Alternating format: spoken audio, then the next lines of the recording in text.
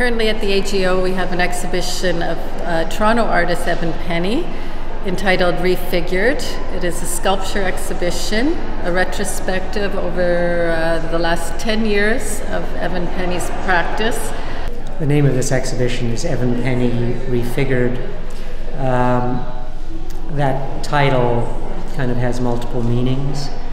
Um, refigured can imply um, figuration uh, reconsidered. Um, it can also imply the kind of um, distortions that you see in in the show, the um, the, the, the, kind of refiguring of, of, of, the body through various kind of manipulations. Um, and it, because it's a survey show, it's about looking again at my work, so refiguring it in that sense.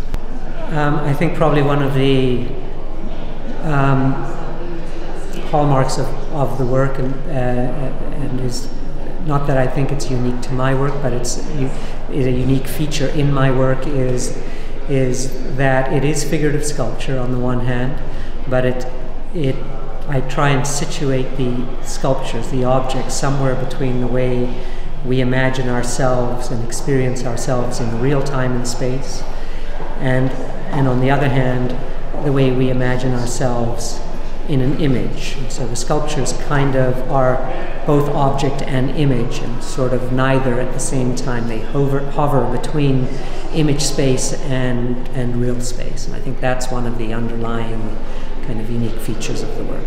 Evan Penny is uh, unique in that very few contemporary artists do traditional figurative sculpture. More often than not, you see more abstract or conceptual work.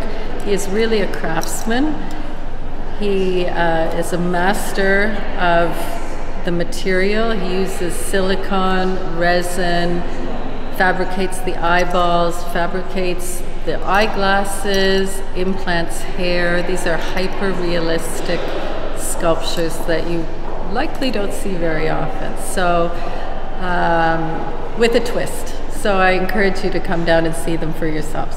One of the underlying themes in the exhibition is the question of portraiture. Um, I don't consider myself a portrait artist. Some of the works are portraits of real people. Some of them approach the question of portraiture. What is a portrait? Portrait? How do we imagine portraiture? What do we expect of portraiture?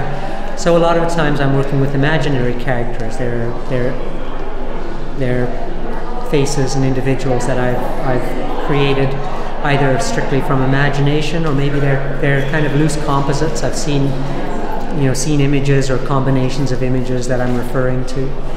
Um, this is generally uh, because I'm interested in this relationship to photography and how we experience images in film and television and magazines and this kind of constant encounter with with images of ourselves and, and others often others we have no idea essentially who they are but they're projecting certain histories so this is one of the, the themes of the show uh, the AGO also has available this uh, very beautiful book on Evan Penny's work. There's a number of articles written by curators as well as an interview with Evan Penny.